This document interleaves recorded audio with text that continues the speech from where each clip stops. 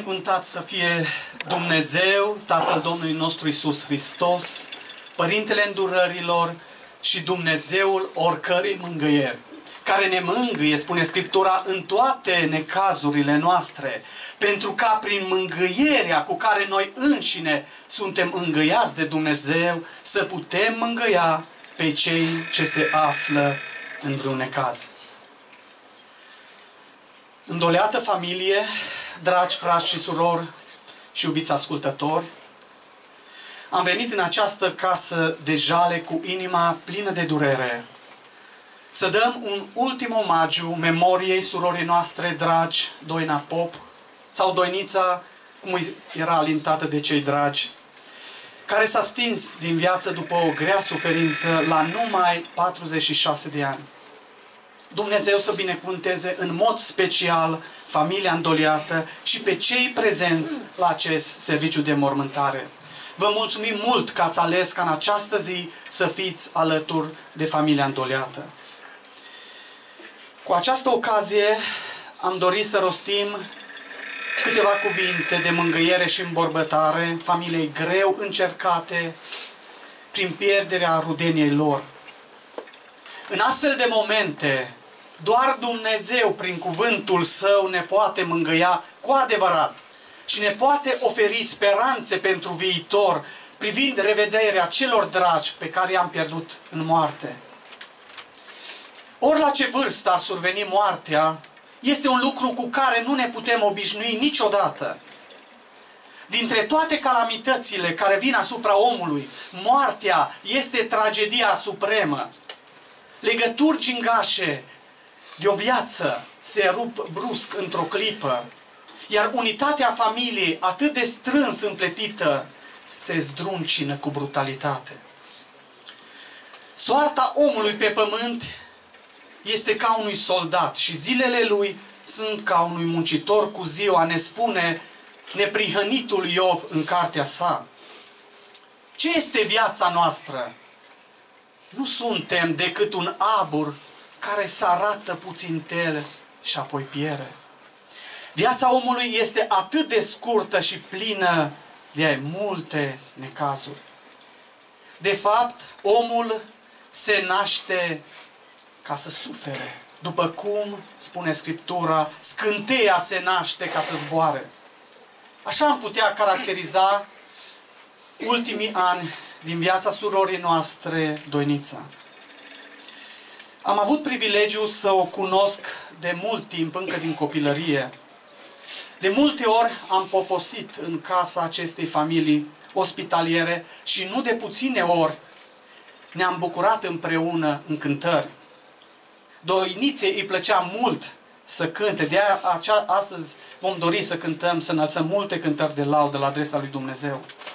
Astfel, ea s-a implicat cu multă dăruire împreună cu alte persoane în realizarea proiectului de înregistrare a cântărilor pe note din carte de cântări.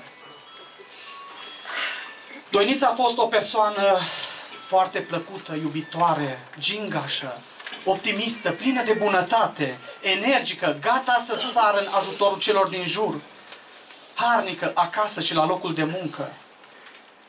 Vorbele ei erau drese cu sare, era o binecuvântare pentru cei care o ascultau. Așa cum a învățat ea de la dascălul ei, Isus Hristos, pe care l-a slujit cu mult devotament până la moarte. Ea s-a străduit să fie o soție și o mamă desăvârșită. Chiar și atunci când a trecut prin momente grele de suferință, care nu au fost puține, a căutat de multe ori să își ascundă durerea față de cei din jur, în spatele unui zâmbet, doar ca ei să nu sufere. Când am cerut unei persoane apropiate să facă o descriere succintă doiniței, ea mi-a spus că a fost cel mai bun om pe care l-a întâlnit vreodată. Posibil că a avut și defecte, dar acestea au fost umbrite de calitățile ei. Îi mulțumim lui Dumnezeu pentru că am avut-o în mijlocul nostru chiar și pentru puțină vreme. Să prețuim astfel de oameni atât timp cât trăiesc în mijlocul nostru. Văzând suferința doiniței ca și a multor semeni din jurul nostru, ne putem întreba, oare Dumnezeu așa a dorit ca omul să aibă o viață scurtă și plină de necazuri? Care este cauza acestor suferințe? De ce murim? Până când va ține această ordine de lucruri? Există vreo speranță ca lucrurile să se schimbe? În cele ce urmează vom încerca să găsim un răspuns la aceste întrebări în Cartea lui Dumnezeu, singura carte care este capabilă să ofere răspunsuri pertinente la astfel de întrebări. Dorim ca Dumnezeu să reverse Duhul Său cel Sfânt peste toți cei adunați în acest loc de jale, să ne atingă inimile prin cuvântul Său, să binecuvânteze serviciul de mormântare și pe cei care vor sluji astăzi spre slava lui Dumnezeu. Pentru început, vom intona cu toții cântarea 325, O Doamne mare, când privesc eu lumea. După cântare ne vom uni cu toți într-o rugăciune condusă de fratele Daniel, Dan Pașca, apoi dorim ca Dumnezeu să binecuvânteze pe fratele Ioan Hosu, care ne va aduce un mesaj de îmbărbătare.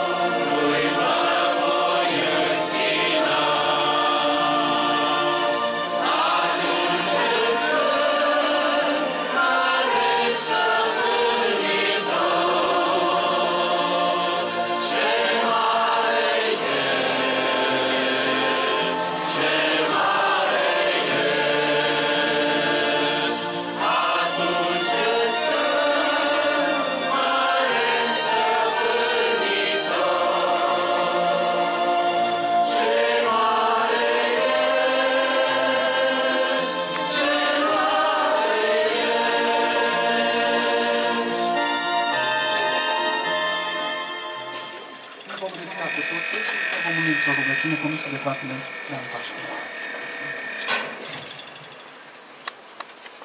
Tatăl nostru care ești în ceruri, prin onoarea Mântuitorului nostru drag, Domnul nostru Isus, venim și în aceste momente de față, înaintea tronului Tău de har, de milă, de îndurare, ca să-ți mulțumim în primul rând pentru cel mai măreț dar dat nouă oamenilor, pentru Fiul Tău, îți mulțumim pentru jertfa sa, pentru sângele Său care a curs pe lemnul crucii, pentru noi și pentru lumea întreagă.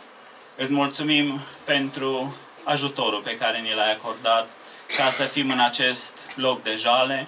Te rugăm ca binecuvântarea Ta să planeze astăzi asupra noastră, binecuvântarea Ta să planeze apoi cu familia îndoliată, care rămâne în urma plecării din mijlocul ei, a celei care a fost pentru, ea, pentru ei o rudă apropiată.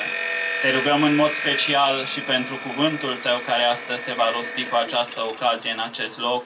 Te rugăm ca cuvântul Tău să prindă rădăcini adânci în inimile și în mințile noastre și apoi să aducă și roadă în viețile noastre. Toate acestea ți-am mulțumit și ți le cerem prin numele Domnului nostru Isus a ta și a lui să fie toată cinstea, lauda și închinăciunea de acum până în veci de veci. Amin. Vă puteți lua loc, așa cum am anunțat. În continuare dorim ca Dumnezeu să binecuvânteze pe fratele Ioan Hosu, care ne va aduce un mesaj de îmbărbătare din partea lui Dumnezeu. Îndoliată familie, iubiți frați și iubite surori. Iubiți creștini, de fapt, e un nume mai comun pentru noi toți. Toți ne numim creștini pentru că trăim într-o țară care se numește o țară creștină.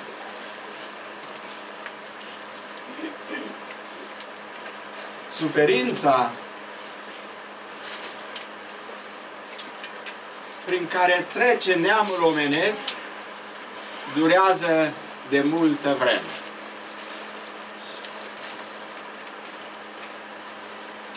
Ne uităm adesea cu tristețe, ori de câte ori ne ducem la o mormântare, ori de câte ori ne ducem la un spital. Câtă amărăciune, câtă tristețe există pe acest pământ. Ne uităm cu câtă durere se întâmplă că mama își conduce fica la mormânt sau tata pe fiul lui. Și se pare că și aici este același lucru în cazul nostru.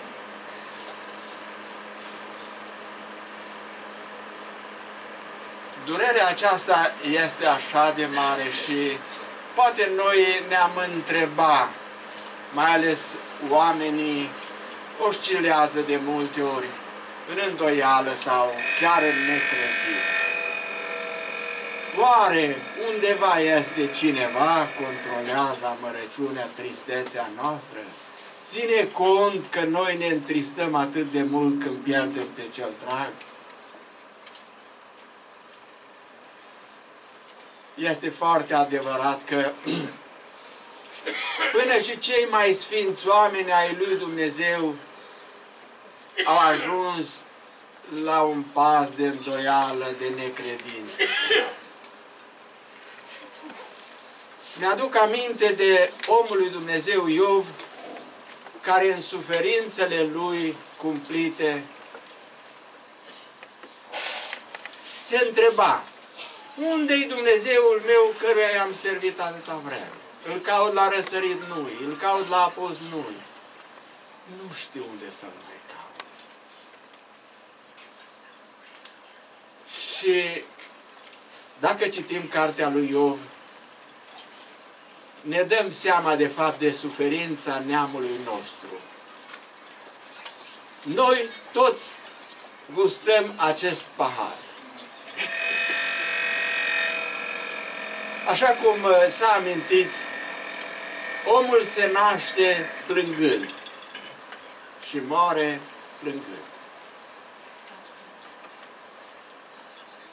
Și Poate am dat uneori dreptate înțeleptului Solomon care spune omul nu-i mai mult decât animale.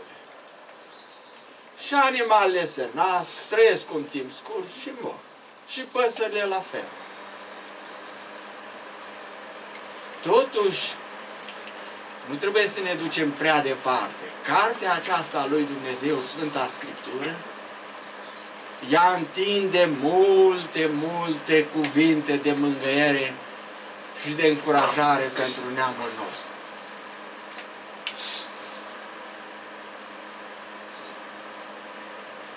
Neamul nostru a intrat sub sentința morții de multă vreme.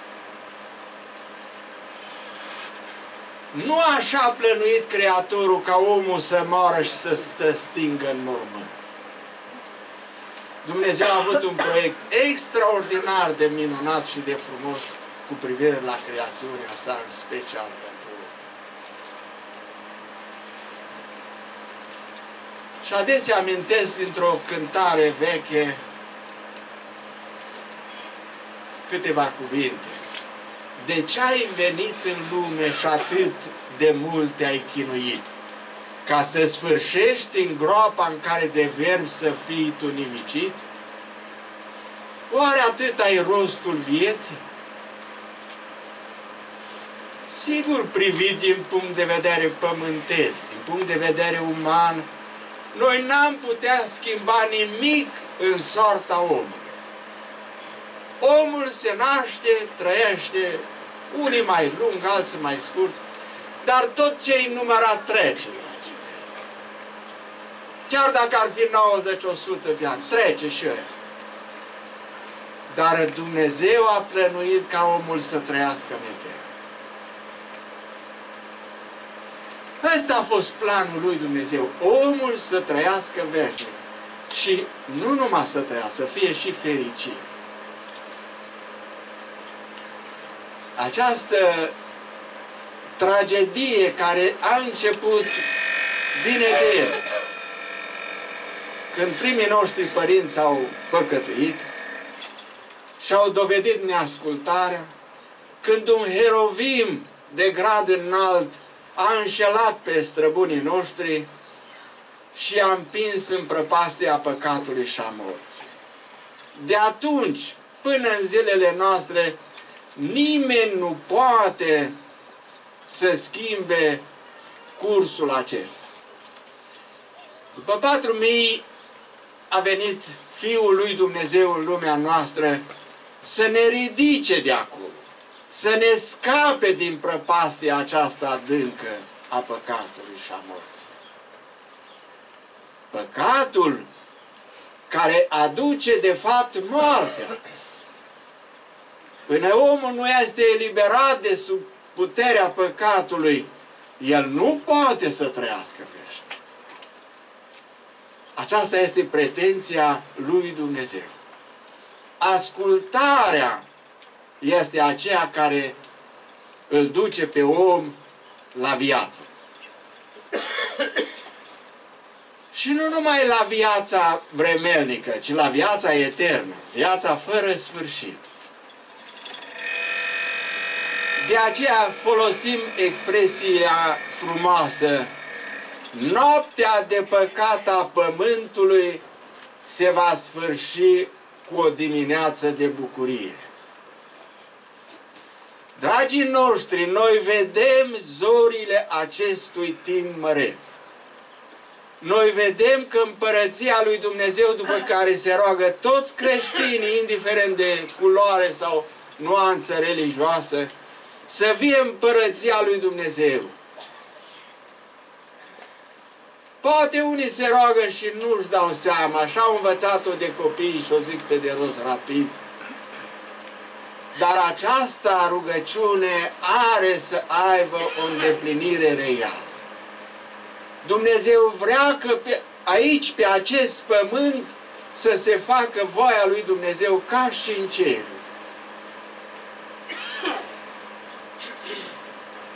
Majoritatea dintre noi credem că numai în cer va fi bucurie și fericire. Iisus s-a dus în cer și ne-a promis că unde se duce El, va duce și pe Sfinții Săi. Și noi credem acest lucru. Și va fi adevărat că Sfinții lui Dumnezeu vor fi împreună cu Isus în gloria cerească pentru eternitate. Dar nu înseamnă că ei să duc o mână de creștini care au servit în mod special pe Dumnezeu. Ăia vor fi foarte fericiți și aici pe pământ va continua moartea, suferința, lacrimile și necazul. Proiectul lui Dumnezeu este ceva minunat. El a hotărât să aleagă de aici, din planeta noastră, o clasă de sfinți cu care să lucreze Fiul Său, Domnul nostru Isus Hristos. Ei vor fi regii și preoții împărăției milenare, despre care Scriptura amintește. În Apocalips, în capitolul 20 și în alte locuri, vorbește că ei vor fi preoți ai lui Dumnezeu. Dar preotul are o misiune. Cum poate fi preot fără noroc? Nu se poate. Acești preoți ai vârstei milenare vor conlucra cu planeta noastră Pământ. Toți oamenii care au trăit aici pe acest pământ, mulți de tot vor învia. De unde știm lucrul ăsta? Scriptura confirmă și Domnul Isus însuși amintește și zice în Ioan în capitolul 5 și aș vrea chiar să citesc pentru a întări cele spuse, să nu se pară că vorbim numai de la noi.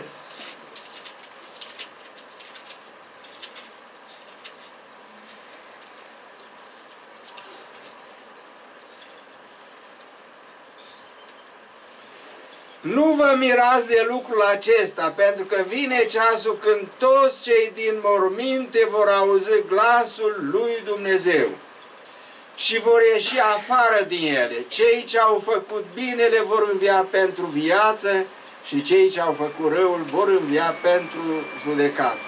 Am citit în Evanghelia lui Ioan la capitolul 5, versetul 28 și 29. Oare de ce a spus Mântuitorul, nu vă mirați? Era și pe atunci oameni care nu credeau că va fi vreodată Și chiar s-au dus la Isus să-L ispitească. Păi la noi aici a fost o femeie care i-a murit bărbatul și după lege a avut dreptul să căsătorească cu altul și cu altul și cu altul și s-o căsătorit cu mai mulți. La înviere, cum are să fie? A căruia va fi la înviere din cei șapte? Și ce le-a spus Isus? Tare vă mai rătăciți că nu știți Scripturile și nici puterea lui Dumnezeu. Și ne citește Scriptura ajunge să priceapă ce vrea Dumnezeu, cum Dumnezeu va lucra în vârsta viitoare. Când toți oamenii vor învia, acolo nu se însoară și se mărită cum este în viacul nostru. Voi nu știți nici puterea lui Dumnezeu. Păi Dumnezeu a creat toate lucrurile care se văd și care nu se văd. Oare e mai slab Dumnezeu când va trebui să vină învierea morților? Nu, dragii mei. Chiar a demonstrat Fiul lui Dumnezeu câtă vreme a fost aici pe acest pământ că e posibil învierea. L-a înviat pe Lazar mort de patru zile. Vă aduceți aminte, toți cred că ați auzit întâmplarea cu Lazar. Marta, când a zis Iisus și a ajuns la mormânt, și Iisus a spus, dați piatra la o parte. Marta îi spune, mirose greu, e mort de patru zile. Nu încerca să-l mai scoli, că îi mor de multă vreme și mai ales în Israel, unde e căldură mare. Și Domnul îi spune, eu ți-am spus că ai să vezi slava lui Dumnezeu. Adică că Dumnezeu e puternic. El poate învia morți. Au dat piatra la o parte și Iisus a strigat, Lazare, vino afară! Și Lazar a ieșit afară cu mâinile și picioarele legate. Interesant este în această întâmplare Lazar vine din mormânt cu mâinile și picioarele legate și Iisus ce le spune? Dezlegați. Nu ne-am întrebat, oare de ce o vii cu ele legate? O fost mai greu să-l dezlege ca și să-l învie? Eu cred că nu. Învierea a fost lucrul cel mai important. Totuși, la oameni le-au spus, dezlegați Asta ne trage, ne învață ceva pe noi. Sunt lucruri care noi nu le putem face, dar le poate Dumnezeu. Și sunt lucruri care le putem face și Domnul îngăduie să le facem noi. Și partea noastră care trebuie să o facem noi, aia nu suntem scuzați. Trebuie noi să o facem. Și vom vedea și în alte împrejurări unde Isus procedează la fel și anume un orb pe care Domnul Iisus îl unge cu noroi și îi spune, du-te la scăldătoarea Siloamului și spală-te și ai să vezi.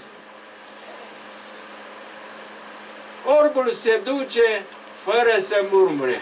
El ar fi putut spune, pui noroi în ochii mei, îți bați joc de mine, pune medicamente, Încearcă să mă ungi cu ceva mai special, nu cu noroi.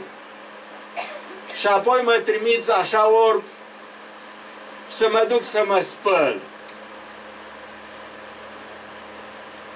Și orbul n-a spus nimic la toate acestea. S-a dus la scăldătoare, s-a spălat și a devenit curat. A văzut clar și ce am vrut să aduc din, această, din acest exemplu?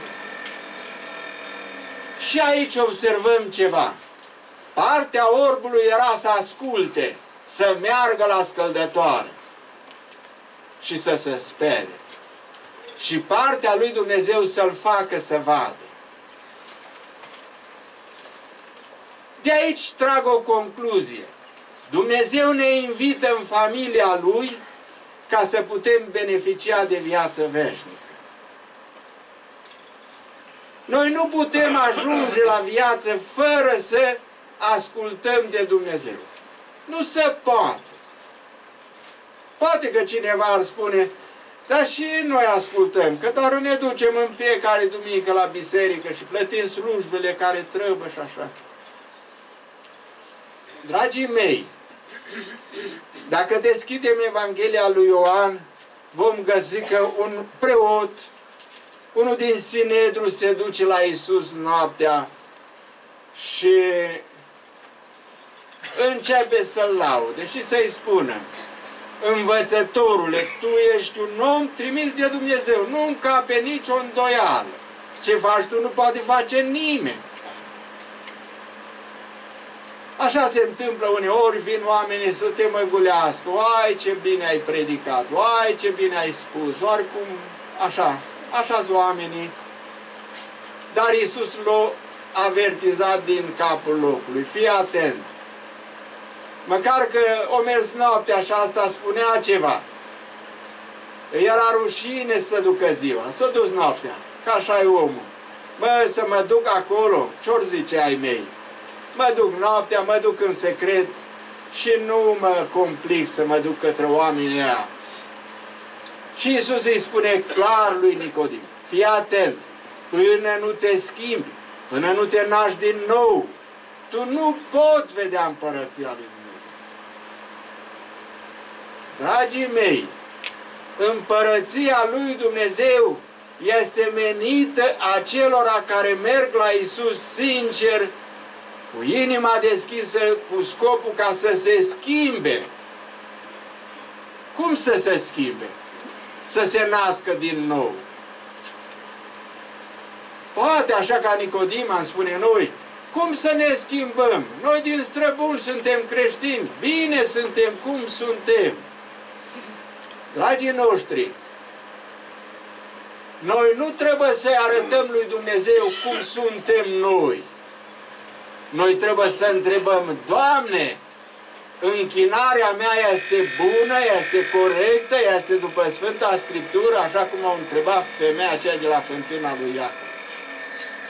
Noi ne închinăm aici, pe dealurile acestea. Voi la Ierusalim, adevărata închinare care o fi? Și Iisus i-a spus, voi vă închinați la ce nu cunoașteți, dragii noștri. Oamenii se închină la tot felul. Încă creștinii se închină la lucruri religioase.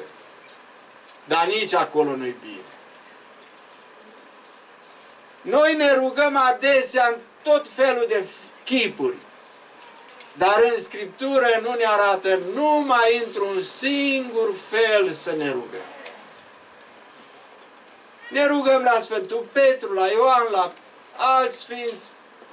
Și Scriptura zice, în numele lui Isus Hristos să se plece orice genunchi, a celor din cer, de pe pământ și chiar de sub pământ. Vreau să supăr cu aceasta pe cineva? Cred că nu. Eu aș vrea ca de aici, de la această mormântare, să fim mai bogați un pic. Să învățăm ceva. Să învățăm despre adevăratul nostru Dumnezeu și despre adevărata închinare. Asta ne, ne-ar ajuta și ne-ar rămâne o amintire frumoasă de la mormântarea surorii Doinița. De ce? Că la sora Doinița, dacă o lăudăm, nu ne, nu ne spune nimic, dacă o cărâm nici așa. Și eu obișnuiesc și spun, vorbirile la mormântare sunt pentru cei vii, ei pot ceva să schimbe în viață. Ei pot să beneficieze de o cunoaștere mai clară. Pentru că Ioan, Domnul Iisus în Evanghelia lui Ioan la capitolul 17 amintește și spune Viața veșnică este aceasta, să te cunoască pe tine singurul Dumnezeu adevărat și pe Iisus pe care l-ai trimis. Al cunoaște pe Dumnezeu nu înseamnă numai să avem o cunoștință sumară. Pe Dumnezeu îl putem cunoaște din cartea sa.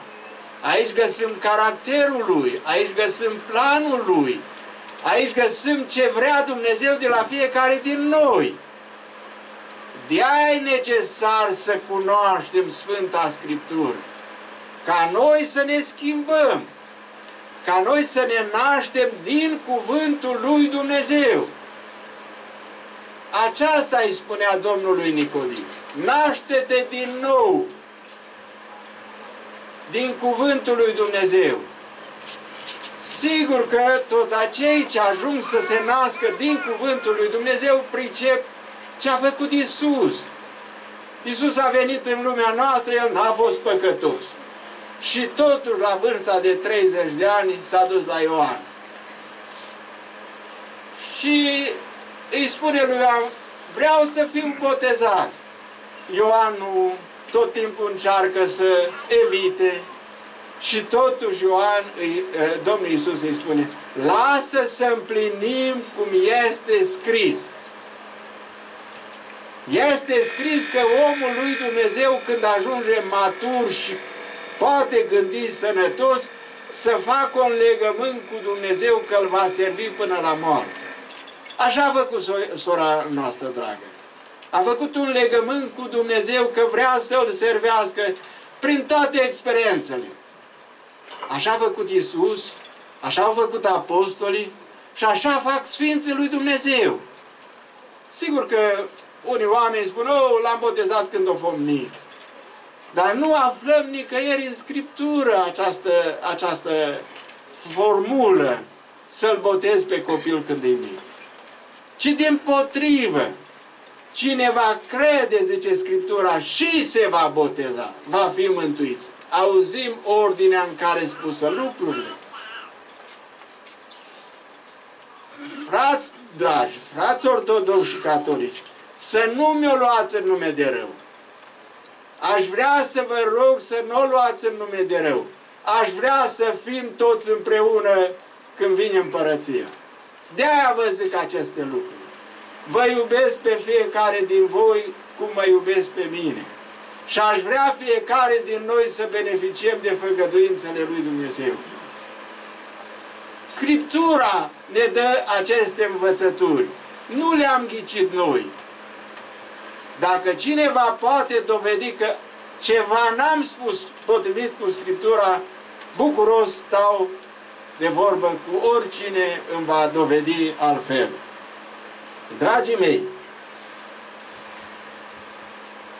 când noi ne uităm în Sfânta Scriptură, viața e promisă pe ascultare. Pe vremea Domnului Isus, citim în Luca, în capitolul 13, s-au dus la el și le-a spus, i-a spus la Domnul, uitați ce interesant. În Luca, capitolul 13, versul 1, în vremea aceea au venit unii și au istorisit lui Isus ce se întâmplase unor galileani, ale căror sânge îl amestecase Pilat cu jertfele lor. Și Domnul spune, credeți voi, le-a zis Isus, că acești galileani au fost mai păcătoși decât toți ceilalți galileani? Pentru că au pățit astfel? Eu vă spun nu. Și dacă nu vă pocăiți, toți veți pieri la fel. Vedeți, n-am scris eu aici. Sau acei 18 inși peste care a căzut turnul Siloamului și i-a omorât, credeți că au fost mai păcătoși decât toți ceilalți oameni care locuiau în Ierusalim? Eu vă spun nu. Ci dacă nu vă pocăiți, toți veți peri la fel. Dragii mei, ăsta e textul Scripturii, astea sunt cuvintele lui Isus. Dar oamenii le este frică de pocăință că mai ales în timpul comuniștilor au fost socotiți cei mai de jos oameni, la marginea societății. De aceea eu și băiat în pușcărie pe mulți. Și unii au chiar murit acolo. Să știți că pocăința nu e ceva rău. Pocăința e ceva foarte valoros în ochii lui Dumnezeu. Mi-aduc aminte de cineva care a fost militar era țigan el și capitanul întreabă, că era pocăit și el, băi, ce înseamnă pocăit? Și țiganul înaintea lui și făcut strânga în prejur și a zis, asta înseamnă pocăință. Adică până astăzi am mințit, până astăzi am înșelat, am curvit, am făcut fapte de rușine, de aici nu mai fac. Un stop și aceasta ne spune și Apostolul Petru în epistola lui. Ajunge că în trecut ați făcut voia neamului și ați trăit în beții, în curvii, în fapte de rușine, în închinări la idoli, ajunge. Și dacă noi ne uităm la poporul evreu, și facem o paralelă cu poporul evreu, cu creștinismul nostru, vom observa că se aseamănă mult de tot. Evreii s-au numit poporul de legământ al lui Dumnezeu, dar se închinau la tot felul de zei. Și acești zei la care se închinau ei, erau zei neamurilor. Erau zei ciopliți, zei turnați, și mergeau și aduceau jertfe înaintea lor. Prorocul Ilie îi mustru odată pe Israel și le spune până când veți șchiopăta de amândouă picioare? De ce i-au mustrat așa? Mergeau toți în cârși? Nu, dragii mei. Din punct de vedere spiritual aveau un mers cu totul slab în ceea ce privea partea spirituală, ca popor de legământ al lui Dumnezeu. Și ne uităm acum și facem o paralelă la creștinismul zilelor noastre. Nu ne-am obișnuit să tot introducem în crezul nostru tot felul de tradiții și obiceiuri? Să ne întrebăm noi, oare corespunde închinarea noastră cu ceea ce ne cere Dumnezeu? Dacă ne ducem prin Ieremia, găsim ce înseamnă un idol.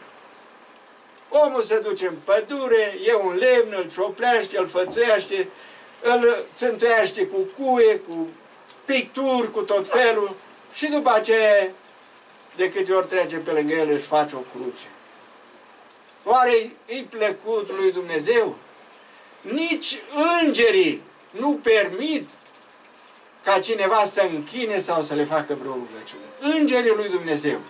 Găsim aceasta în cartea lui Daniel, găsim în Apocalips, când Ioan, apostolul, era într-o vedenie și a văzut un înger, o crezut că e Domnul Isus și a vrut să plece, să închine și nu i-o da voie. Atunci, nu trebuie să ne oprim în loc și să ne întrebăm, oare nu cumva am prins un drum foarte greșit? Măcar că ne numim popor de legământ, ne numim creștini. Dragii noștri, Evanghelia aceasta împărăției promite viață veșnică pe bază de condiții. Condiția este ascultarea de cuvântul lui Dumnezeu, indiferent care unde suntem. Chiar dacă ne-am pocăit, chiar dacă ne-am botezat de 10 ori și n-am respectat cuvântul lui Dumnezeu, n-avem nicio șansă să câștigăm viața veșnică. Viața veșnică este pe bază de ascultare. Cine ascultă va beneficia de viață veșnică. Dragii noștri, cartea aceasta e foarte frumoasă. Aș vrea să vi-o recomand, să o citim mereu. Să ne rugăm mult lui Dumnezeu să o înțelegem și să o trăim, ca să avem parte de împărăția după care ne rugăm. Împărăția lui Dumnezeu va avea două faze, cerească și o clasă de sfinți vor merge în cer cu Isus și o parte pe pământ dar n-or fi nefericiția de pe pământ. Așa legătură bună a fi între cer și pământ, încât Adam a putut povesti cu Dumnezeu în răcoarea zilei, măcar că Dumnezeu, zicem noi, în cer, dar El e și pe pământ, și sub pământ, și peste tot e Dumnezeu. Nu trebuie să mergi să-L cauți. E aici, aici între noi. Nu-L vedem cu ochii ăștia, dar simțim că El e acela ce călăuzește pe poporul Său. Domnul să vă binecuvinteze pe toți și să ne ajute să avem parte de împărăție. Aș vrea, dragii mei, să ne vedem și în împărăția lui Dumnezeu cu toți împreună. Domnul să binecuvinteze în mod special familia îndoliată.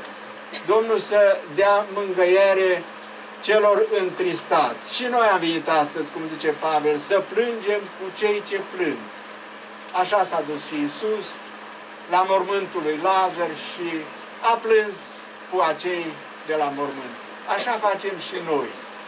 Și eu am gândit că nu o să pot vorbi de plâns. Sunt mai sensibil. Mulțumesc lui Dumnezeu pentru toate. Mulțumesc că ați ascultat cu atenție ca și pe cuvântul lui Dumnezeu, nu ca pe cuvântul lui om. Și eu sunt om ca voi. Domnul să ne dea harul său să apreciem tot ce este adevărat, tot ce este sfânt, tot ce este curat. Amin. Mulțumim eh, fratelui Hosu pentru cuvintele pe care le-a dus. Domnul să ne ajute să studiem Scriptura și să căutăm totdeauna care este închinarea plăcută înaintea lui Dumnezeu. Am dorit în continuare să lăudăm grupul uh, cu două cântări, Ajugul lui Hristos pe umeri și biruitor. Am împărțit uh, foi, nu știu dacă au ajuns la toată lumea. Dacă doriți să cântați împreună cu noi, o puteți face.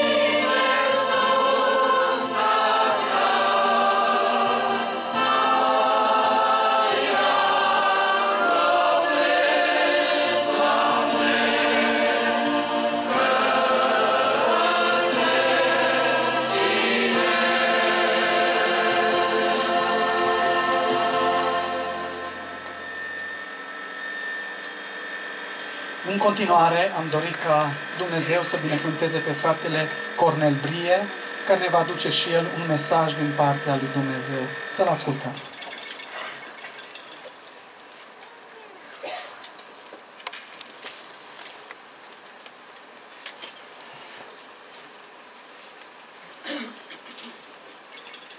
în aceste momente de încercare și de durere, îl implorăm pe Dumnezeu să ne ajute. Deschid Sfânta Scriptură în cartea profetului Isaia, de la capitolul 38, voi citi câteva cuvinte. Ziceam, în cei mai buni ani ai vieții mele, trebuie să mă duc la porțile locuinței morților. Sunt lipsit de restul anilor mei. Ziceam, nu voi mai vedea pe Domnul, pe Domnul în pământul celor vii. Nu voi mai vedea pe niciun om în locuința morților. Locuința mea este luată și mutată de la mine ca o colibă de păstori. Îmi simt filul vieții tăiat, ca de un țesător care mă rupe din țesătura lui. Până de seară îmi vei pune capăt. Am strigat până dimineața, ca un leu îmi zdrobise toate oasele. Ciripeam ca o rândunică, croncăneam ca un cocor și gemeam ca o porumbiță. Ochii îmi priveau topiți spre cer. Doamne, sunt în ecaz, ajută-mă! Acestea sunt cuvintele împăratului Ezechia în fața morții. Sora Doini și-a încheiat viața spunând în ultimul timp de multe ori, Doamne, sunt un ecaz, ajută-mă! Stimați prieteni, dragă familie îndoliată, dragii mei frați și dragile mele surori, suntem prezenți aici cu inimile frânte de durere. Să aducem un omagiu surorii noastre doini, acelia care a fost fică, sora Nuță este aici, soție, mamă,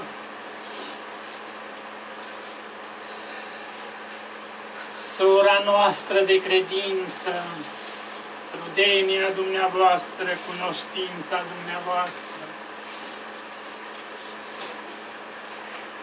O inimă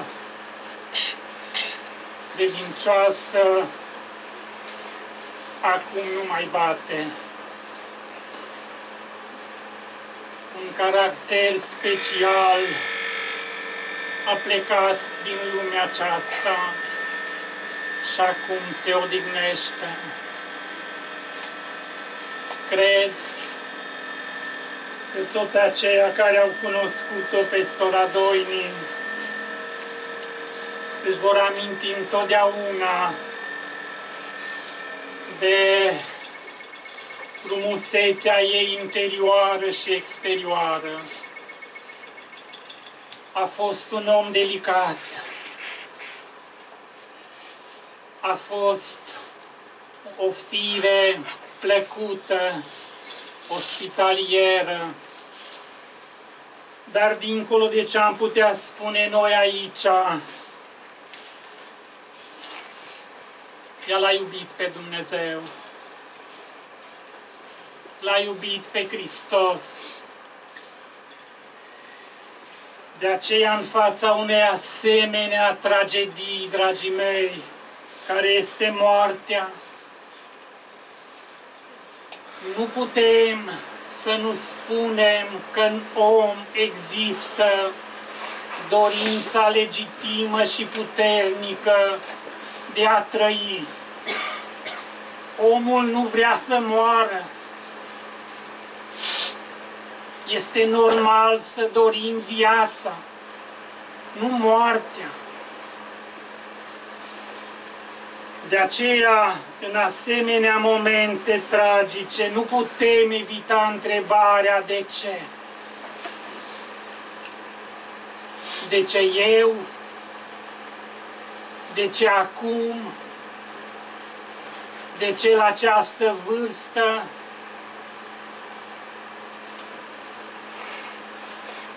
Unde este Dumnezeu? De ce nu-mi răspunde? Am greșit? Nu mă mai iubește? Sunt întrebări care preocupă mintea umană de milenii și sunt convins că și sora Doini și le-a pus aceste întrebări și le-a pus și fratele Viorel și Denisa și Sergiu și toți cei ce au fost apropiați de ea. În asemenea situații, este o ispită puternică să ne îndoim de iubirea lui Dumnezeu. Acestea sunt încercări grele pentru omul credinței. Dragii mei, sigura mângâiere în asemenea situații care nu pot fi controlate de noi. Singura mângâiere pentru omul credinței este moartea a fost învinsă. Există înviere. Acolo la mormântul lui Lazar, în fața mulțimii, cineva a spus, eu sunt învierea și viața. Cine crede în mine, chiar dacă va muri, va trăi. Fiul lui Dumnezeu trimisul cerului pentru noi, cei neputincioși și imperfecți, pentru noi cei care ne încheiem pribegia în valea plângerii în moarte, în neființă, pentru noi, Fiul lui Dumnezeu a spus, am fost mort și am înviat și sunt viu în vecii vecilor. Eu țin cheile morții și a locuinței morților. Biblia, dragii mei, este cartea lui Dumnezeu. Este cartea adevărului. Este singura carte care ne conduce dincolo de valea asta plângerii dincolo de imperiul acesta al răului, al suferinței și al morții, spre vremile în care împărăția lui Dumnezeu va rezolva marile probleme ale umanității. Iată ce spune Sfântul Apostol Pavel în 1 Corinteni, capitolul este 15, de la versetul 54. În trupul acesta supus putrezirii se va îmbrăca în neputrezire și trupul acesta muritor se va îmbrăca în nemurire. Atunci se va împlini cuvântul care este scris. Moartea a fost înghițită de biruință. Unde este biruință moartea? Unde este boldul moarte? Boldul morții este păcatul și puterea păcatului este legea. Dar mulțumiri fi aduse lui Dumnezeu, care ne dă biruința prin Domnul nostru Isus Hristos. Călcarea legii divine este păcat. Gloria omului perfect în Eden a fost admirabilă. Când Dumnezeu l-a creat pe om în chipul și asemănarea lui, Dumnezeu a spus, foarte bun. Totul era armonios, totul era perfect. Din această glorie, din această stare edenică de perfecțiune, iată unde am ajuns. Din ce cauză? Din cauza păcatului. Pedeapsa păcatului este moartea. Este o pedeapsă dreaptă, pentru că un om desăvârșit a călcat porunca lui Dumnezeu. Am ajuns în această stare din care nu putem ieși. Noi nu avem soluție, dragii mei, să ne eliberăm de suferință, de păcat, de moarte. Din punct de vedere al lui Dumnezeu, omul este mort și un mort nu se poate ajuta pe sine. Dar cartea aceasta unică este o carte sacră, este o carte sublimă, este o carte unică, pentru că ne prezintă singura soluție la problemele noastre. Și soluția este Hristos. Soluția este Golgota. Cred că nu există creștin care să nu știe versetul de aur al Scripturii.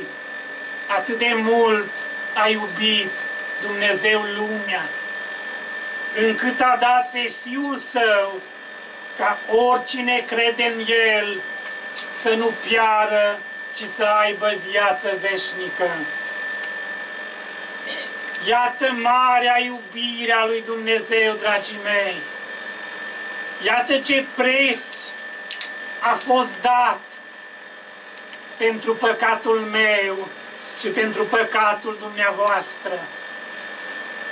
Fiul lui Dumnezeu a venit din curțile cerești pentru mine, pentru noi, pentru această lume.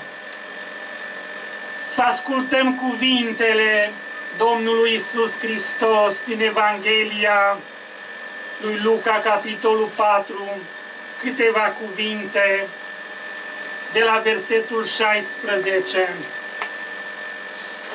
A venit în Nazaret, unde fusese crescut, și după obiceiul său în ziua sabatului a intrat în sinagogă, s-a sculat să citească.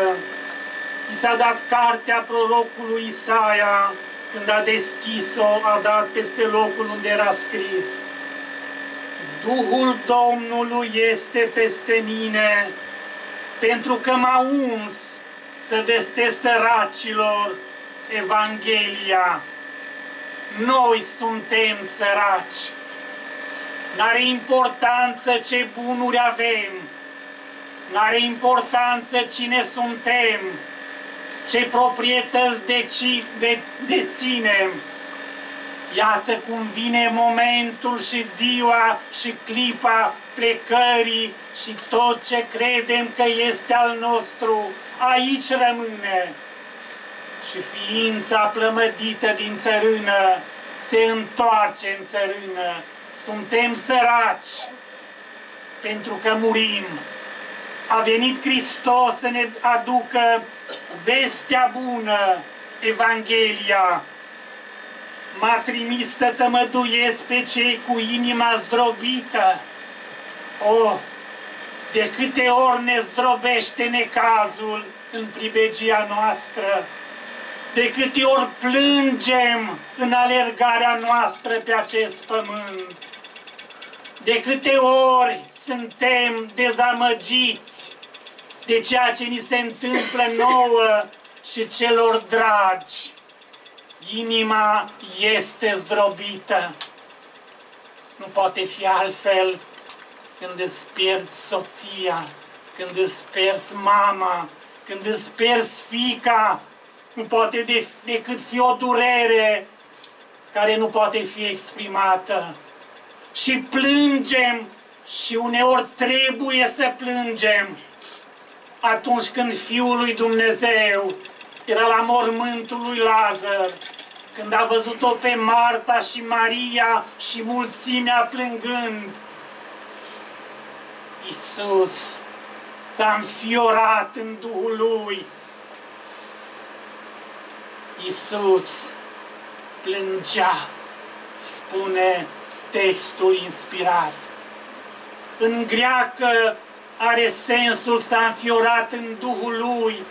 Iisus a gemut de durere, văzând tristețea și lacrimile celor prezenți. Uneori, dragii mei, printre lacrimi putem vedea departe. Printre lacrimi putem vedea ziua în care moartea nu va mai fi. Ziua în care cei din morminte vor ieși afară. Printre lacrimi putem vedea ziua în care cunoștința de Domnul va umplea pământul Printre lacre putem vedea acum la marea eliberare pe care ne-a dus-o Hristos Domnul. Și iată ce spune mai departe. Să propovăduiesc robilor de război eliberarea și orbilor căpătarea vederii, să dau drumul celor apăsați, să vestesc anul de îndurare al Domnului. De aceea a venit Fiul lui Dumnezeu în lumea noastră să caute, să mântuiască ce a fost pierdut. De aceea a venit Fiul lui Dumnezeu în lumea noastră să ne aducă la Dumnezeu, să ne împace cu Dumnezeu, și când Marele Apostol Pavel înțelege această iubire imensă a lui Dumnezeu pentru noi păcătoși, când înțelege privilegiul de a fi înfiat prin Hristos, de a fi un fiu al lui Dumnezeu, când Apostolul Pavel înțelege că în Hristos, la împlinirea vremii, toate vor fi aduse în armonie, Marele Apostol Pavel spune următoarele cuvinte, deschid în Efeseni, capitolul 1 și citesc versetul 3. Binecuvântat să fie Dumnezeu, Tatăl Domnului nostru Isus Hristos, care ne-a binecuvântat cu tot felul de binecuvântări duhovnicești în locurile cerești în Hristos. Atunci când un om înțelege planul lui Dumnezeu, marea iubire a lui Dumnezeu, scopurile generoase a lui Dumnezeu, privilegiul împăcării cu Dumnezeu, a unei vieți noi în Hristos, atunci El nu poate decât să spună binecuvântat să fie Dumnezeu. Este greu în aceste momente, dar avem speranță, dragii mei. Și avem speranță că Fiul lui Dumnezeu, în El ne sunt concentrate speranțele noastre, dragii mei. Este tema principală a Scripturii, Iisus Hristos, Mielul lui Dumnezeu, care ridică păcatul lumii. Da, El a venit aici și a purtat cununa de spin pentru mine, ca eu, dacă accept Harul lui Dumnezeu, într-o zi să por cununa vieții. Dumnezeu a spus din cer că ne iubește. A venit Hristos aici și ne-a arătat acest lucru. El este cel mai minunat împărat, nu doar al lui Israel, ci al întregii lumi. Un împărat care și-a dat viața pentru vrășmași. El a fost bătut pentru ca eu să fiu protejat. El a fost legat pentru ca eu să fiu liber. El a fost insultat pentru ca eu să fiu stimat. Acolo, la Golgota, se deschide o cale, o cale îngustă care duce la viață. Ferice de acei muritori care privesc la Golgota, care ascultă cuvintele pline de iubire și compasiune a lui Hristos Domnul, când El spune, veniți la mine, toți cei trudiți și împovărați, și veți găsi o dihnă pentru sufletele voastre. Luați jugul meu și sarcina mea, că jugul meu este bun și sarcina mea este ușoară. A fost ușoară oare această sarcină pentru sora Doini? Diferența între un om credincios și unul care nu-L are pe Hristos este că omul credincios, deși nu-i scutit de necazuri, se ține de Hristos și nu poate să se afunde în necredință, în dezamăgire. Și în ziua aceea răsplata va fi glorioasă. Trupul acesta muritor, spunea Pavel, se va îmbrăca în nemurire. Trupul acesta supus putrezirii se va îmbrăca în neputrezire. Atunci când credinciosul va primi răsplata, moartea va fi înghițită de biruință. Iată de ce Domnul Isus ne cheamă, ne cheamă să venim la El. Nu este altă cale. Nu căutați că nu veți găsi. El este singura cale. Eu sunt calea, adevărul și viața. Unde mai găsim noi în toată lumea aceasta de-a lungul istoriei omenirii pe cineva care să vină aici să preia păcatele noastre și pentru noi să moară pe cruce în chinuri. Sunt mulți întemeitori de religii, dar niciunul n-a venit din cer, niciunul nu s-a urcat în cer. De aceea, Fiul lui Dumnezeu este acela în care noi ne-am pus nădejdea. Lecțiile lui, exemplul lui sunt uimitoare. Faceți bine celor ce vă urăsc și vă persecută rugați-vă pentru cei ce vă prigonesc, binecuvântați și nu blestemați. Tot ce voi să vă facă oamenii vouă, faceți-le voi la fel.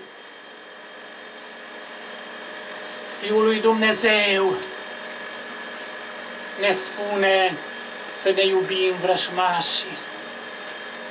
Nicăieri în istoria omenirii, niciun filozof, niciun învățat n-a putut rosti aceste cuvinte, să iubești pe cei ce nu merită. Dar Hristos nu numai că a spus, El a dovedit. Acolo, când dușmanii îl țântuiau pe cruce, El a șoptit cuvintele, Tată, iartă-i că nu știu ce fac. Acesta e Fiul lui Dumnezeu. Pe El trebuie să-L urmăm. Pe El trebuie, de El trebuie să ascultăm. Pentru că, dragii mei, există o speranță de răsplată, de binecuvântare pentru omul credincios. Fericiți și sfinți sunt cei ce au parte de întâia înviere. Asupra lor, a doua moarte n-are nicio putere. Vor fi preoți al lui Dumnezeu și al lui Hristos și vor împărăți cu El o mie de ani. Marele Apostol Pavel, spre încheierea vieții lui pe acest pământ, a rostit cuvintele pe care mi le-aș dori să le rostesc și eu, le doresc și pentru dumneavoastră. Și îmi place să gândesc, Dumnezeu știe că pot fi valabile și pentru sora Doini. M-a luptat lupta cea bună. Mi-am isprăvit alergarea. Am păzit credința. De acum mă așteaptă cu luna neprihănirii pe care mi-o va da Domnul în ziua aceea. Dar nu numai mie, ci tuturor celor ce au iubit venirea Lui.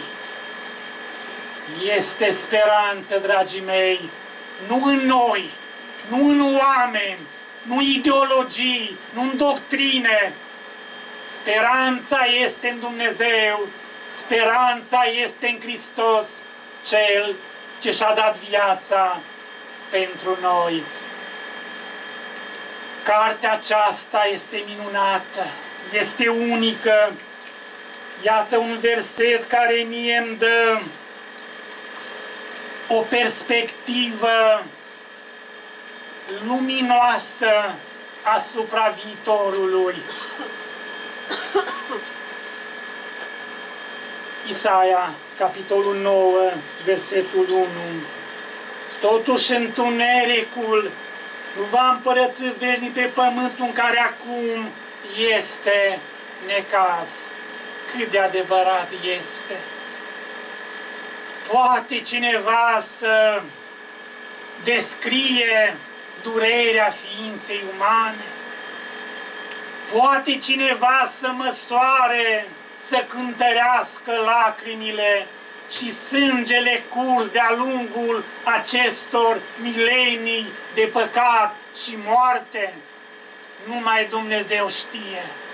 Acel Dumnezeu suprem și inteligent, acel Dumnezeu ne spune prin Scriptură, întunericul nu va împărăți veșnic pe pământul în care acum este necaz.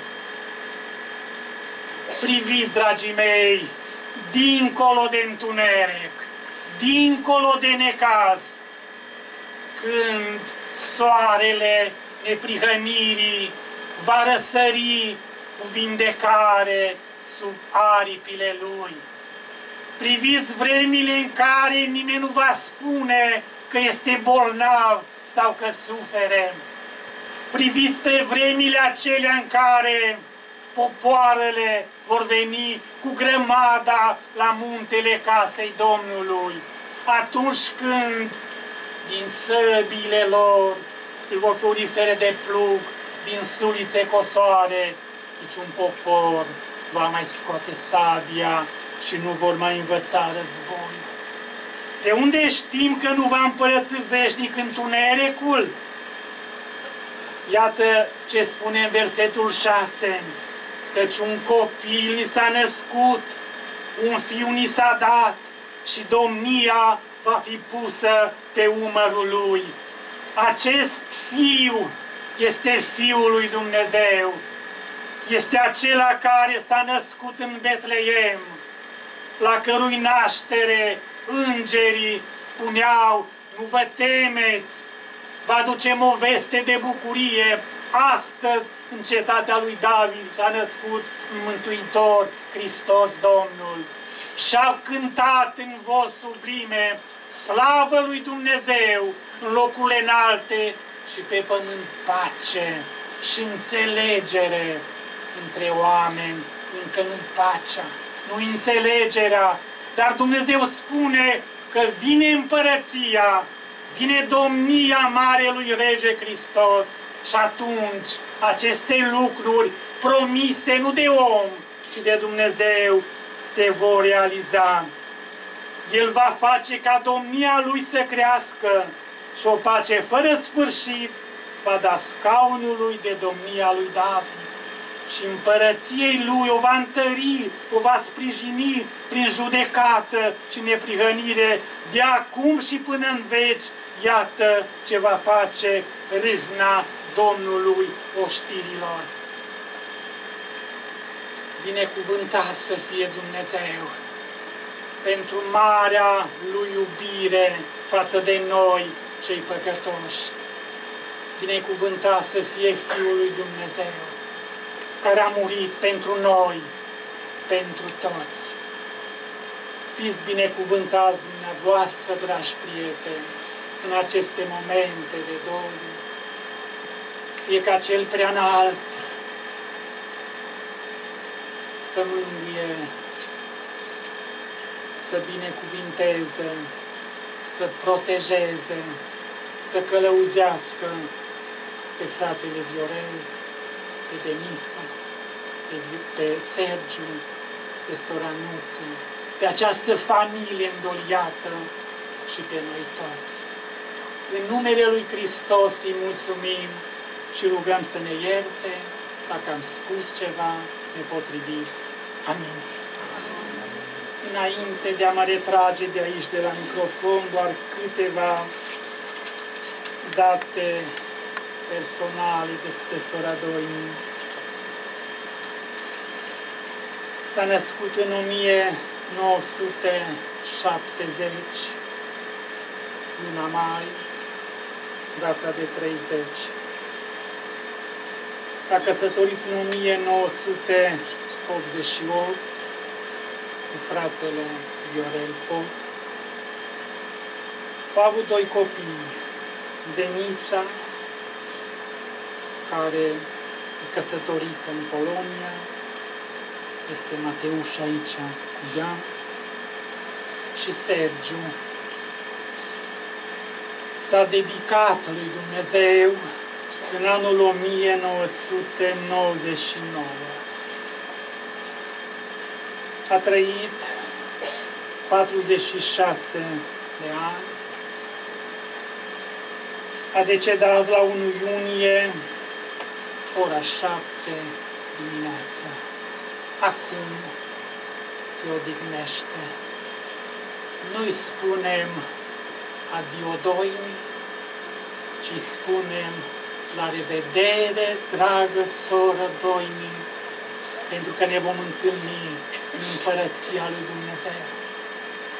Nu este o posibilitate, ci este o certitudine conferită de Dumnezeu și de Hristos. Amin. Mulțumim Tatălui Ceresc pentru toată binecuvântarea pe care a dat-o în această zi. Dorim încă o dată ca Dumnezeu să binecuvinteze familia îndoliată și pe toți cei prezenți. Dorim să mulțumim tuturor care au fost alături de familie în timpul suferinței, colegilor de muncă care au susținut-o a susținut familia și pe doinii moral și financiar și tuturor fraților care au procedat la fel. Spre încheiere, fratele Mateuș, am înțeles, din partea familiei, va spune câteva cuvinte. După aia vom cânta cântarea 422 și fratele Sorin Luca Banchea cu rugăciune.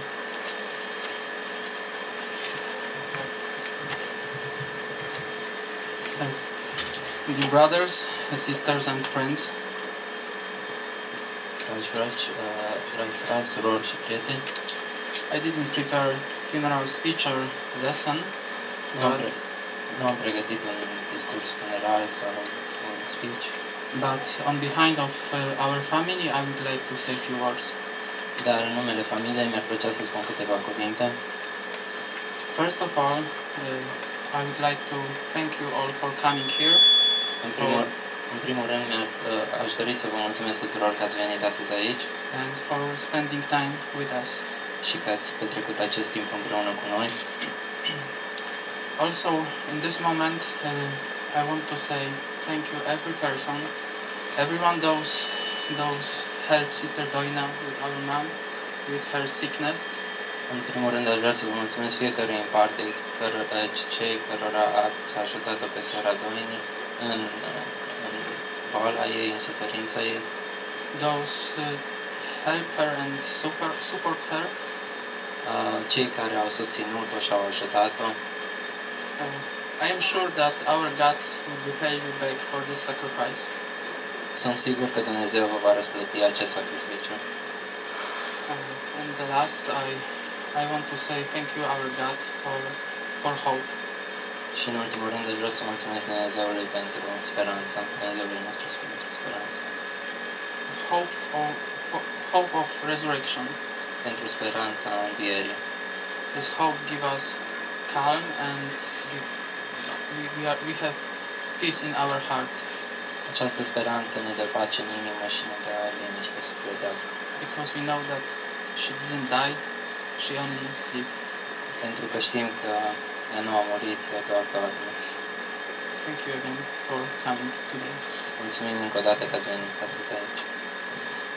Mulțumim frate Mateuș, mulțumim și fratelui Cornel Brie și tuturor uh, fratelui Hosuian și tuturor care au servit și vouă tuturor.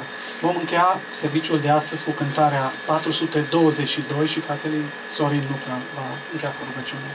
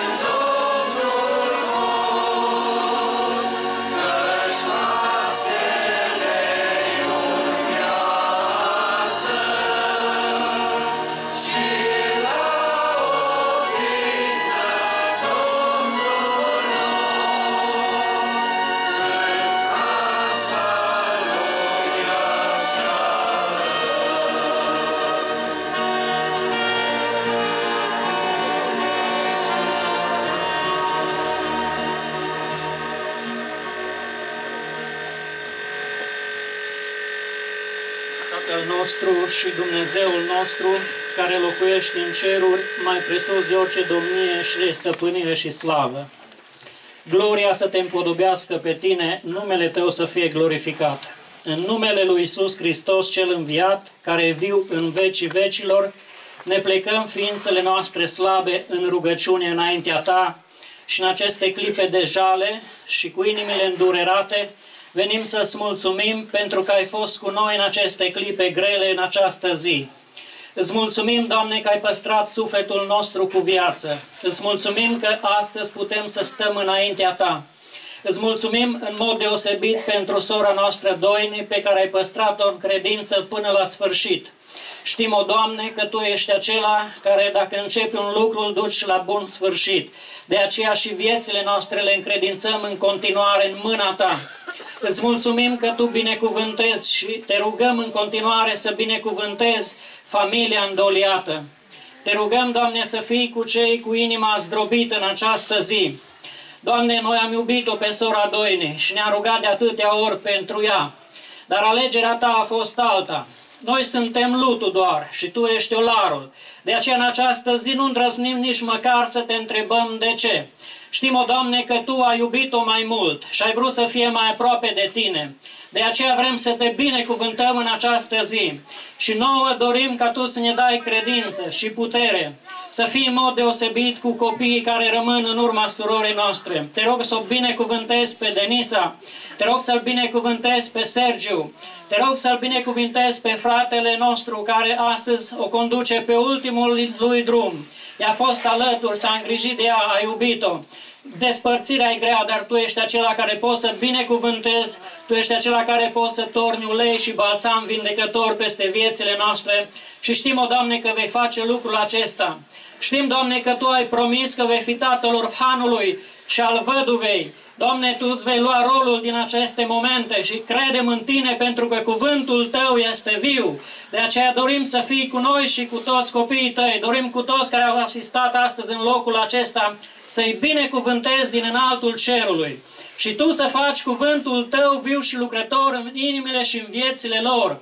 Să ne conștientizezi, Doamne, în continuare că viața ce o trăim aici pe pământ este pentru ca să Te căutăm și să Te găsim pe Tine, Doamne.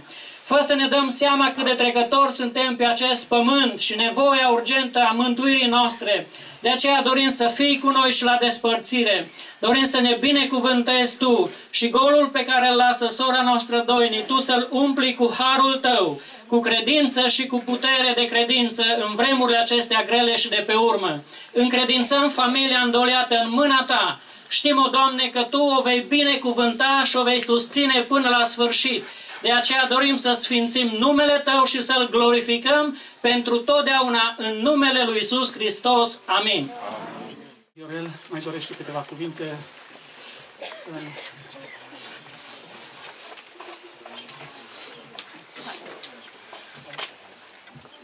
Pentru cei care sunt mai de, departe, am, familia ne anunță că sunt semiciuri și o să, fie, să pot să aici la spre ieșire. Dragii mei,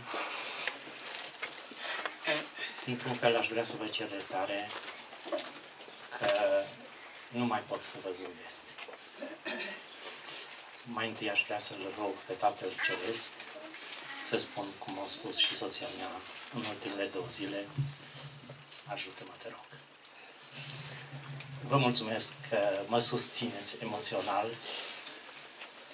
și se vede tristețile și pe fețele voastre, pentru că pot să vă mărturisesc, în 28 de ani a fost o soție minunată. Un caracter deosebit, bună, caldă, liniștită, plină de mângâiere. N-am să uit niciodată mângâierile ei. Cu aceasta aș vrea să vă spun, pentru cei care sunteți căsătoriți, mângâiați-le mult. Pentru că atunci când nu veți mai avea pe cel drag lângă voi, patru zile a trecut și îmi lipsește mult. O caut, chiar dacă o găsesc în inima mea, și aici va rămâne. Aș vrea să mulțumesc lui Dumnezeu, în primul rând, pentru că a ajutat-o să-și ducă votul de consacrare până la sfârșit. Aș vrea să mulțumesc lui Dumnezeu că m-a întărit și am fost alături de ea în fiecare clipă și nu m-am dus pe ea. N-am putut să o părăsesc în greaua ei suferință. L-am rugat pe Dumnezeu, măcar jumătate din suferințe, să-mi dea mie. Aș vrea să mulțumesc copilașilor noștri. Aș vrea să mulțumesc mamei ei, mamei mele, surorilor ei, fraților ei, fraților mei. Aș vrea să mulțumesc și colegilor care, de când au aflat, au încercat să ne susțină din toate punctele de vedere. Dar nu în ultimul rând tuturor fraților, chiar și din străinătate, ne-au susținut în rugăciunile lor și am simțit că suntem binecuvântați cu putere. Aș vrea să mulțumesc chiar și vecinilor, am văzut în ei tristețe, am văzut lacrimi în suflet. Vă cerem scuze dacă nu ne-am putut ridica la nivelul dorințelor altora și aș vrea să-i spun adio, draga mea, și nu te vom uita niciodată. Tatăl Ceresc să vă dea binecuvântările Lui și să vă răsplătească tot ceea ce ați făcut pentru noi. Serviciul de mormântare la sfârșit, în timp ce urmează să fie dus sicriul la groapă, cei prezenți vom mai cânta o cântare în timp ce se poate, cei care transportă pot apropia. Din orice iar, din orice seminție, din orice limbă, din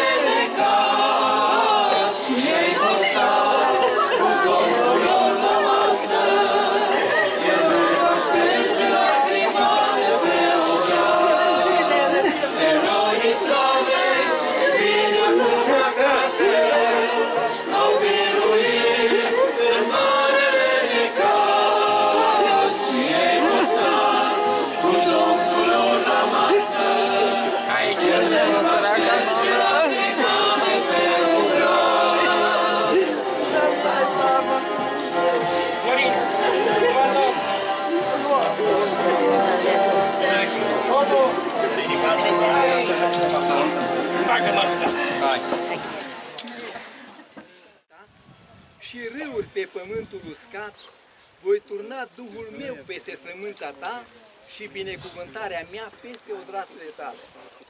Și vor răsări ca firele de iarbă între ape, ca sălcile lângă pâraile de apă. Am găsit locul potrivit pentru situația în care noi ne găsim. Până aici au făcut oamenii mult și chiar mai mult decât s-ar fi așteptat mulți pentru soda noastră. Dar mai departe rămâne cuvântul Fiului Dumnezeu care promite o zi a revederii, o zi în care omul se întoarce din mormânt. Înviere, revenire la viață, readucere, renaștere, asemenea ierbii după o iarnă care a făcut ca totul să dispară. Aceasta este speranța Sfintei Scripturi care ne este rezervată tuturor. În ce bază? În baza faptului că Isus Hristos, din darul lui Dumnezeu, a gustat moartea pentru fiecare om și ne bucurăm că suntem toți oameni. Slăvit să fie Tatăl Ceresc pentru că ne-a făcut oameni. De unde atâta rezerve ca să aducă atâtea miliarde pe pământ? În ce bază? Pentru că orice se face pe pământ necesită un articol de lege, ceva, undeva.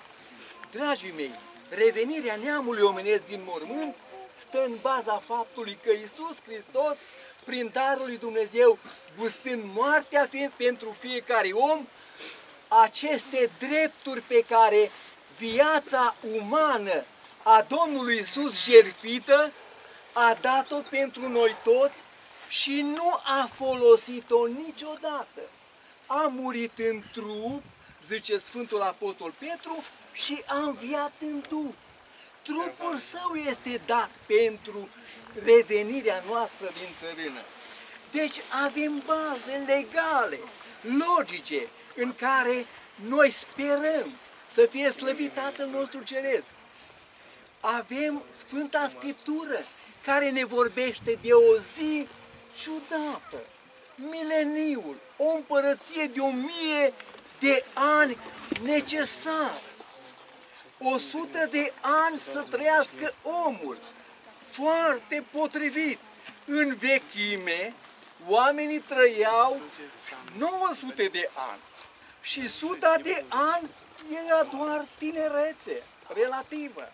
Dragii mei, aici găsim în gruparea acestor frați în care a participat și cu care a votat până la moarte sora Doini, aflăm rezerve în această carte că vine împărăția de o mie de ani în care toți cei din morminte vor ieși afară. În mod sigur, activitatea prezentă este evidentă. Unii vor învia pentru viață și alții pentru judecată. Ce ne face să fim diferiți față de alții care citesc și înțeleg diferit Sfânta Scriptură. Cuvântul judecată înseamnă încercare și sentință, nu numai sentință. Oamenii se vor scula din țărână ca să fie probați. Pentru că Tatăl Ceresc așa ceva dorește. Noi nu am ajuns în această postură prin pur hotărârea și alegerea noastră. Moștenim această condiție prin strămoșul nostru Adam, revenim la viață prin Isus Hristos și vom fi înviați timp de o mie de ani prin cultivarea în mintea noastră a ceea ce s-a șters în șase mii de ani de domnia a păcatului. Deci oamenii se ridică din țărână, nu vin în adevăratul sens al cuvântului. Ei se trezesc și vor învia prin judecata lui Dumnezeu, așa cum aflăm în Isaia, capitolul 26 și versetul 9.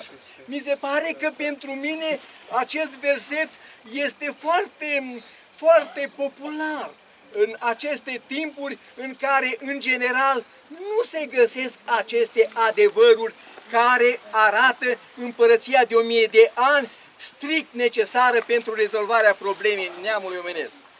Zice așa în Isaia 26 și versetul 9, de aceea te așteptăm, Doamne, și pe calea judecăților tale, sufletul nostru suspină după numele Tău și după pomenirea Ta. Sufletul meu te dorește noaptea și Duhul meu te caută în lăuntrul meu. Căci când se împlinesc judecățile tale pe pământ, locuitorii lumii învață dreptatea. Și cântarea noastră potrivită, adă, Doamne, ziua aceea, mai devreme, mai curând, ziua sfântă a noului așezământ. Cei ce s astăzi în morminte s-or scula. Domnul să aducă acele zile de înviorare. Știu că timpul a fost destul de de lung în care am stat în picioare și eu acolo. Nu vreau să vă forțez nota, dar aș vrea să spunem că dintr-un anume punct de vedere, noi învățăm că omul moare. Da. Și din alt punct de vedere, că omul doarme. Din punctul de vedere a nostru, ca oameni, omul moare în adevăratul sens al cuvântului. Dar din singurul punct de vedere al Scripturii, el adoarme sau doarme pentru că Tatăl Ceresc a promis că va reveni din nou așa cum atunci când omul era viu, Adam în grădina Edenului i-a spus că vei muri. Deci tot aceeași autoritate spune aceleași cuvinte că lucrurile se vor restabili. Ce se va restabili? Cineva ar putea zice, e destul, am ascultat atâta. Dragii mei, se va restabili sufletul care moare. Din punctul de vedere a Sfintei Scripturi, Ezechiel capitolul 18, în trei mi se pare locuri, cel puțin două, dar poate trei locuri spune că sufletul care păcătuiește moare și noi toți păcătoși, toți murim.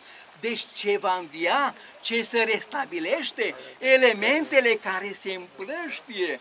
Nu, dragii mei, sufletul, ființa simțitoare, totalitatea proceselor afective, în paranteză, care ține a iubi, a uri, a, a urâ, afective, intelectuale, care ține de minte, voliționale, după limba română, care ține de voință. Aceste facultăți ale ființei vor reveni în trupuri noi.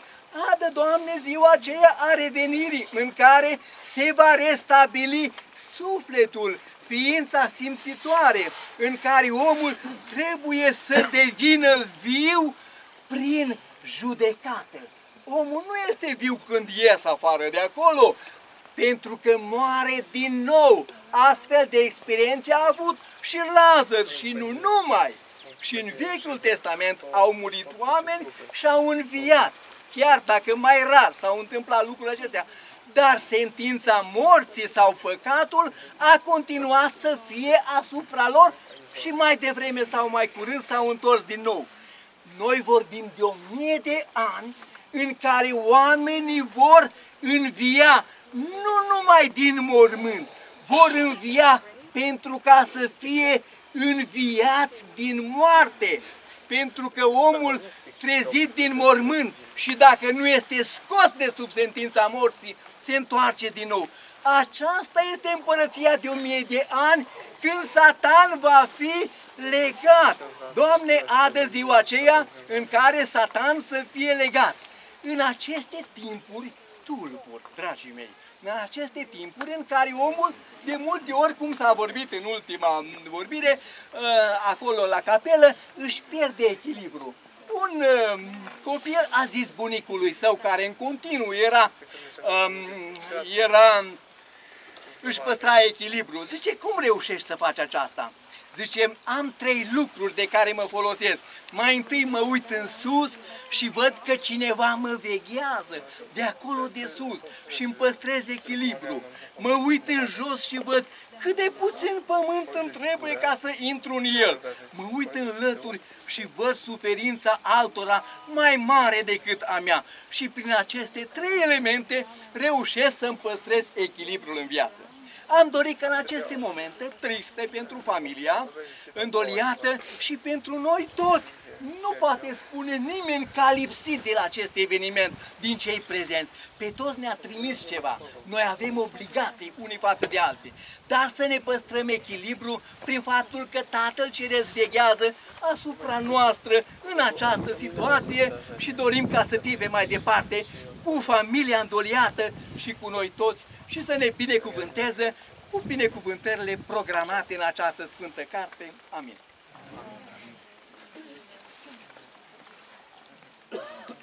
Mulțumim încă o dată Tatălui Ceresc și Tatălui Sandu pentru cuvintele aduse. Așa cum am mai amintit, de, dorim ca Dumnezeu să binecuvinteze familia îndoliată, să umple golul lăsat de sora noastră Doini și am dorit ca Dumnezeu să vă răsplătească tuturor eforturile că v-ați deplasat și ați fost, așa, fost alături de familia îndoliată. Vom încheia serviciul de astăzi cu cântarea 376, Trâmbița Domnului când va suna și fratele Valentina Chim va rosti o rugăciune.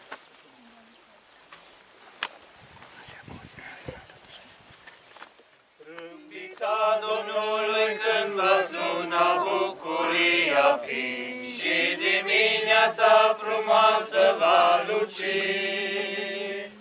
Când cei aleși dincolo de țărmuri se vor aduna și a lui venire se va arăta.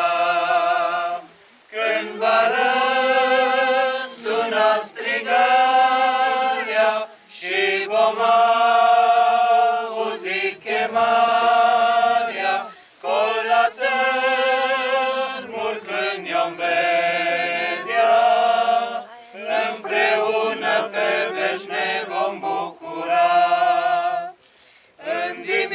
dimineața când cei morți în Hristos vor învia, lumina veșnică toți o vor vedea.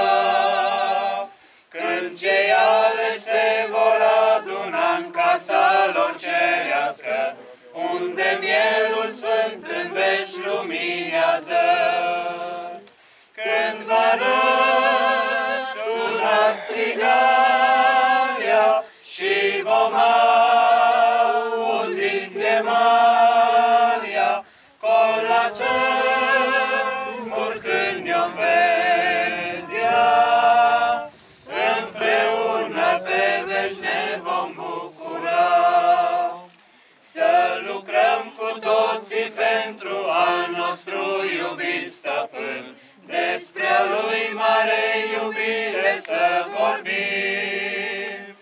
Căci toate vor fi schimbate și al nostru lucru s-a arăta, și a lui iubire în veci va rămânea.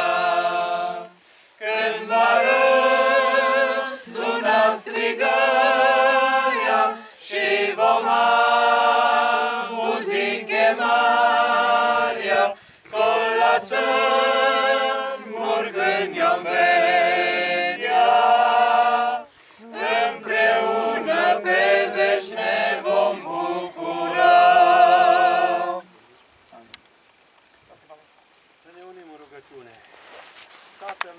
care ești în cer, Sfânt ești, Doamne, sfințească-te numele Tău, fie împărăția Ta și să facă voia Ta, precum în cer, așa și pe pământ. Iubitule Tată din ceruri, Dumnezeu cel viu al lui Israel și Dumnezeul nostru, în momentele acestea de jale și durere, venim în fața Ta și îți mulțumim că Tu ești cu noi. Îți mulțumim de dragostea Ta, care o arăți cu față de fiii Tăi, de oameni, că Tu ce ai avut mai scump pe Fiul Tău iubit, pe Domnul nostru Iisus Hristos, L-ai dat să moară pentru noi, ca omul să nu rămână pe veșnicie în pământ. Ai făcut aceste lucruri minunate pentru noi și îți mulțumim pentru credința care ne-ai dat-o. Doamne, dă-i o dignă surorii doinii și, Doamne, știm că ai avut o credință minunată. Că nu pe veșnicie va rămânea în locul acesta dureros și umbros al morții, că Fiul Tău ne-a răscumpărat din pământ și din păcat și din fără de lege. Și va veni acele timpuri de înviorare unde ne vom întâlni cu iubiții noștri. Poate toți cei prezenți în locul acesta am pierdut pe cineva drag cândva. Doamne, întărește-ne, binecuvântează-ne. Te rugăm în mod deosebit și încă o dată să binecuvântezi familia ei, în mod deosebit copiii și soțul și mama și frații și surorile și frații de credință și toți cei prezenți în locul acesta. Ajută-ne să ne despărțim cu o iubire către Tine mai mare, să vedem cât de trecător și cât de scurtă este viața noastră aici pe pământ. Doamne, ajută-ne să ne sfârșim și noi calea credincios, cum a fost sora noastră iubită Doine. În grea suferinței au rămas credincioase. Și, Doamne, răsplătește-i Tu. Doamne, dacă cere ceva prea mult, Doamne, dar ar dori să aibă parte în înviere. Ca și noi am dorit să fim cu Domnul nostru Iisus Hristos în zilele acelea și să vedem fața Lui, să vedem bucuriile care ni spuse înainte, Îți mulțumim pentru credința aceasta care ne-ai dat-o, care credem că nu pentru totdeauna omul sau viața lui se sfârșește aici. Ai dat timpul de veșnicie. Te dorim ca să binecuvântezi orice inimă care este în locul acesta și care a fost mișcată de cuvântul tău să te cunoască pe tine, să se împace cu tine înainte de a fi pe târziu. Doamne, îți mulțumim, te rugăm să-i dai o dignă lui sora Doini, în pace și liniște să se trezească la timpul hotărât de tine din nou. Să te lăudăm și de binecuvântăm, iubitele Tată Ceresc Jehova, Dumnezeul Cerului și al Pământului. Prin Domnul nostru Iisus Hristos îți mulțumim pentru toate și a lui jertfă vindecătoare și care a dat viață de pe Golgota, te rugăm să ne ierți dacă am vorbit ceva sau am făcut ceva nepotrivit cu voia ta. Ne încredințăm cu toții în pe bratele tale și dorim să fii tu cu noi cu toți de acum și până în veșnicii. Amin. Amin. Serviciul de mormântare s-a încheiat și poate lăsați să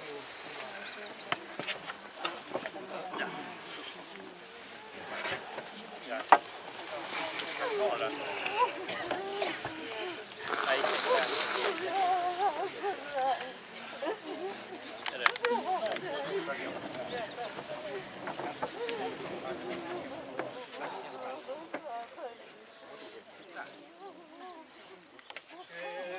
Que deixe